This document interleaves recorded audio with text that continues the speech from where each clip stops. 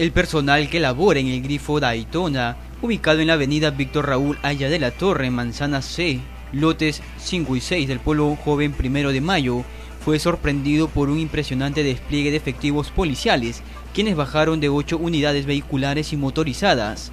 Y es que una llamada anónima advertía sobre el presunto ingreso de delincuentes encapuchados que habrían tomado por asalto el concurrido establecimiento.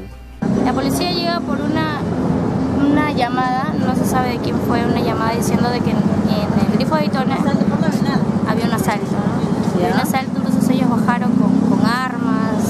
Y ¿La policía? sí, y totalmente asustados nosotros porque no, no sabíamos qué estaba pasando. Se metieron a, todos los lugares donde posiblemente pudieron, haber, pudieron haberse metido. Entonces esto, se han metido por todos lados buscando, pero no ha habido nada.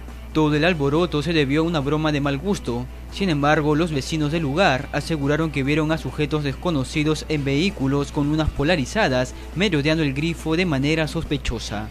Gente dice de sospechosos. ¿Estos sospechosos estaban en vehículos? Dicen estaban que parados? Ha sido un vehículo y con polo celeste, no sé. Ahora, Quizás los vecinos por temor trataron de anticipar el posible robo, como se recuerda hace algunos meses, cerca del lugar se cometió un asalto en el hotel que colinda con el establecimiento. ¿Un robo sí, antes? al lado ha habido un robo. Aquí nunca... Sí, también nos han asaltado. ¿Hace qué tiempo ha sido eso?